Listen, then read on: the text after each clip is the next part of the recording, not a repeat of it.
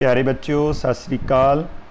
ਆਪਾਂ ਸ਼ੁਰੂ ਕਰਨ ਜਾ ਰਹੇ ਹਾਂ ਜਮਾਤ ਪਹਿਲੀ ਵਿਸ਼ਾ ਗਣਿਤ ਗਣਿਤ ਦੀ ਪੁਸਤਕ ਦਾ ਪੇਜ ਨੰਬਰ 43 ਉੱਪਰ। ਆਓ ਕਰੀਏ ਭਾਗ।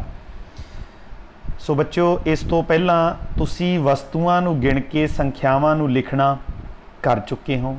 ਹੁਣ ਆਪਾਂ ਵਸਤੂਆਂ ਨੂੰ ਗਿਣ ਕੇ ਉਹਨਾਂ ਦਾ ਜੋੜ ਕਰਨਾ ਕਰਾਂਗੇ।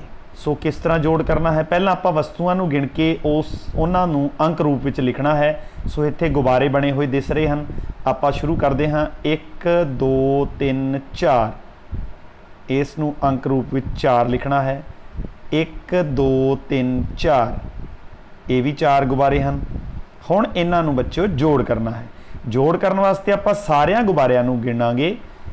1 2 3 4 5 6 7 8 ਸੋ ਇਸ ਦਾ ਮਤਲਬ ਇਹ ਗੁਬਾਰਿਆਂ ਦੀ ਗਿਣਤੀ ਕਿੰਨੀ ਬਣਦੀ ਹੈ?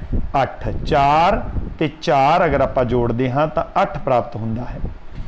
ਉਸ ਤੋਂ ਅੱਗੇ ਹੈ ਬੱਚਿਓ ਆਈਸਕ੍ਰੀਮਾਂ ਬਣੀਆਂ ਹੋਈਆਂ ਹਨ। ਤੁਸੀਂ ਦੇਖ ਰਹੇ ਹੋ ਇਹਨਾਂ ਨੂੰ ਗਿਣਦੇ ਹਾਂ। 1 2 3 4 5 ਆਈਸਕ੍ਰੀਮਾਂ ਦੀ ਗਿਣਤੀ 5 ਅੰਕ ਰੂਪ ਵਿੱਚ ਲਿਖਾਂਗੇ। ਉਸ ਤੋਂ ਅੱਗੇ ਫਿਰ ਹੈ ਆਈਸਕ੍ਰੀਮਾਂ 1 2 3 4 ਇਹਨਾਂ ਦੀ ਗਿਣਤੀ 4 ਹੈ 4 ਨੂੰ ਅੰਕ ਰੂਪ ਵਿੱਚ ਲਿਖਾਂਗੇ।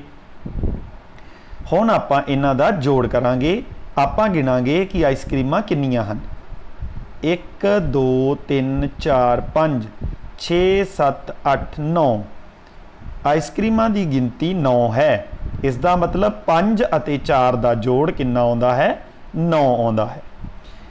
ਇਸ ਤੋਂ ਅੱਗੇ ਹਨ, ਲੈਂਪ ਬਣੇ ਹੋਏ। ਇਹਨਾਂ ਨੂੰ ਵੀ ਗਿਣਦੇ ਹਾਂ। 1 2 3 4 5 ਲੈਂਪਾਂ ਦੀ ਗਿਣਤੀ ਪਹਿਲੀ ਕਤਾਰ ਅੰਦਰ 5 ਹੈ, ਦੂਸਰੀ ਕਤਾਰ ਵਿੱਚ 1 2 3 4 ਦੂਸਰੀ ਕਤਾਰ ਵਿੱਚ 4 ਹੈ।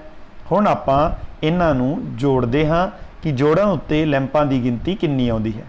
1 2 3 4 5 6 7 8 9 ਇਹਨਾਂ ਦੀ ਗਿਣਤੀ ਵੀ ਕਿੰਨੀ ਆਉਂਦੀ ਹੈ? 9 5 ਅਤੇ 4 ਦਾ ਜੋੜ ਹੈ ਜੋ ਉਹ 9 ਆਉਂਦਾ ਹੈ।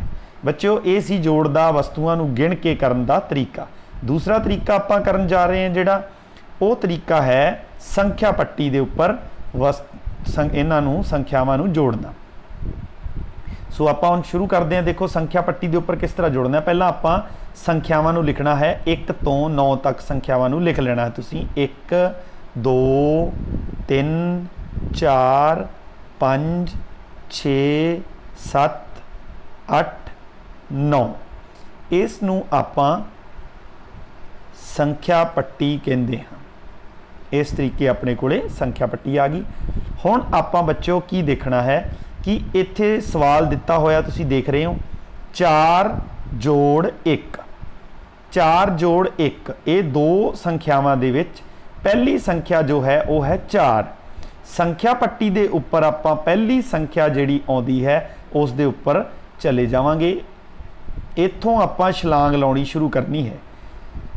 ਦੂਸਰੇ ਨੰਬਰ ਤੇ ਜਿਹੜੀ ਜੋੜਨ ਵਾਲੀ ਸੰਖਿਆ ਹੈ, ਉਹ ਹੈ 1 ਇਸ ਦਾ ਮਤਲਬ 4 ਤੋਂ ਆਪਾਂ ਇੱਕ ਛਲਾਂਗ ਲਗਾਵਾਂਗੇ।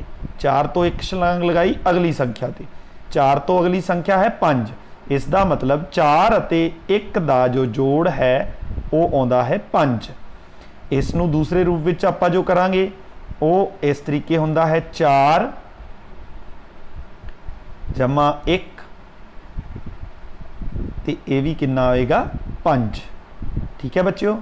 ਸੋ ਇਸ ਨੂੰ ਵੀ ਆਪਾਂ ਇਸ ਰੂਪ ਵਿੱਚ ਲਿਖ ਸਕਦੇ ਹਾਂ 4 1 ਬਰਾਬਰ 5 ਉਸ ਤੋਂ ਅਗਲਾ ਸਵਾਲ ਹੈ 1 ਤੇ 3 ਅਗਲੇ ਸਵਾਲ ਵਾਸਤੇ ਫਿਰ ਆਪਾਂ ਕੀ ਕਰਾਂਗੇ? ਸੰਖਿਆ ਪੱਟੀ ਲਿਖਾਂਗੇ। 1 2 3 4 5 6 7 8 9 ਇੱਥੇ ਆਪਣੀ ਜੋ ਪਹਿਲੀ ਦੋ ਦਿੱਤੀਆਂ ਸੰਖਿਆਵਾਂ ਦੇ ਵਿੱਚ 1 ਜੋੜ 3 ਇੱਕ ਪਹਿਲੀ ਸੰਖਿਆ ਹੈ, ਇਸ ਕਰਕੇ ਆਪਾਂ 1 ਤੋਂ ਛਲਾਂਗ ਲਗਾਉਣੀ ਸ਼ੁਰੂ ਕਰਾਂਗੇ। ਉਸ ਤੋਂ ਅਗਲੀ ਸੰਖਿਆ ਜੋੜਨ ਵਾਲੀ ਸੰਖਿਆ ਹੈ 3 ਇਸ ਦਾ ਮਤਲਬ ਆਪਾਂ ਤਿੰਨ ਛਲਾਂਗਾ ਲਗਾਵਾਂਗੇ। 1 2 3 ਤਿੰਨ ਛਲਾਂਗਾ ਲਗਾਉਣ ਤੋਂ ਬਾਅਦ ਆਪਣੇ ਕੋਲੇ ਸੰਖਿਆ ਆਉਂਦੀ ਹੈ 4 ਇਸ ਦਾ ਮਤਲਬ 1 ਅਤੇ 3 ਦਾ ਜੋੜ ਕਿੰਨਾ ਹੈ? 4 1 ਜੋੜ 3 ਕਿੰਨਾ ਆਉਂਦਾ ਹੈ? 4 1 ਜੋੜ 3 ਕਿੰਨਾ ਆਉਂਦਾ ਹੈ? 4 ਉਸ ਤੋਂ ਅਗਲਾ ਸਵਾਲ ਵੀ ਬੱਚਿਓ ਇਸੇ ਤਰੀਕੇ, ਫਿਰ ਆਪਾਂ ਸੰਖਿਆ ਪੱਟੀ ਲਿਖਣੀ ਹੈ। 1 2 3 4 5 6 7 8 9 ਹੁਣ ਆਪਣੇ ਕੋਲੇ ਦਿੱਤੀਆਂ ਹੋਈਆਂ ਦੋ ਸੰਖਿਆਵਾਂ ਹਨ, ਜਿਨ੍ਹਾਂ ਨੂੰ ਜੋੜਨਾ ਹੈ। ਪਹਿਲੀ ਸੰਖਿਆ ਹੈ 3 ਇਸ ਦਾ ਮਤਲਬ ਆਪਾਂ 3 ਤੋਂ ਛਲਾਂਗ ਲਗਾਉਣੀ ਸ਼ੁਰੂ ਕਰਨੀ ਹੈ। ਜੋੜਨ ਵਾਲੀ ਅਗਲੀ ਸੰਖਿਆ ਹੈ 1 ਇਸ ਦਾ ਮਤਲਬ ਇੱਕ ਛਲਾਂਗ ਆਪਾਂ ਲਾਉਣੀ ਹੈ ਤੇ ਸੰਖਿਆ ਪ੍ਰਾਪਤ ਹੁੰਦੀ ਹੈ 4 3 ਤੇ 1 ਦਾ ਜੋੜ ਵੀ 4 ਹੁੰਦਾ ਹੈ। 3 ਜੋੜ 1 4 ਇਸ ਨੂੰ ਇਸ ਤਰੀਕੇ ਵੀ ਕਰ ਸਕਦੇ ਹਾਂ। 3 ਜੋੜ 1 ਬਰਾਬਰ 4 ਇਸ ਤਰੀਕੇ ਨਾਲ ਆਪਾਂ ਅੰਕਾਂ ਨੂੰ ਜੋੜਨਾ ਸਿੱਖਿਆ, ਸੰਖਿਆਵਾਂ ਨੂੰ ਜੋੜਨਾ ਸਿੱਖਿਆ। ਥੈਂਕ ਯੂ ਧੰਨਵਾਦ। ਅਗਲੀ ਵੀਡੀਓ ਨਾਲ ਫਿਰ ਮਿਲਾਂਗੇ।